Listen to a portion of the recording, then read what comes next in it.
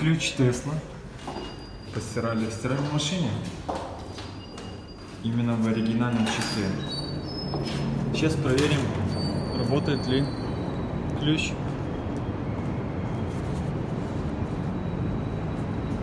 В таком состоянии он был постиран. Сейчас проверим.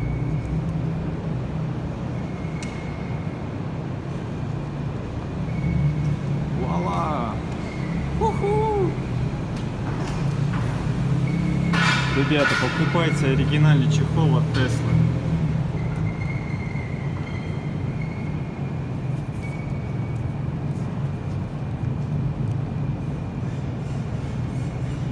Он выглядит так. Прорезиненный.